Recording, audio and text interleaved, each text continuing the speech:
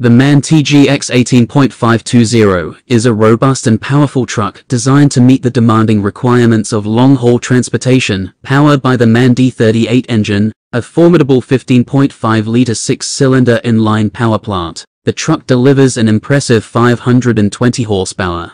This engine is known for its reliability and efficiency, ensuring optimal performance even in challenging conditions. The transmission system is a MAN-Tipmatic automated manual transmission, offering seamless gear changes and enhancing overall fuel efficiency, with 12 or more gears. The transmission is finely tuned to provide the best balance of power and fuel economy. The wheelbase of the TGX 18.520 can be customized based on the specific application and configuration, providing flexibility for different transport needs. The axle configuration typically includes options like 4x2 or 6x2, allowing for versatility in meeting varying load and road conditions. Safety is a top priority in MAN trucks, and the TGX 18.520 is no exception. Equipped with disc brakes on both front and rear axles, the truck ensures reliable and efficient braking performance. Additionally, MAN trucks often incorporate advanced safety features, including electronic stability programs and driver assistance systems.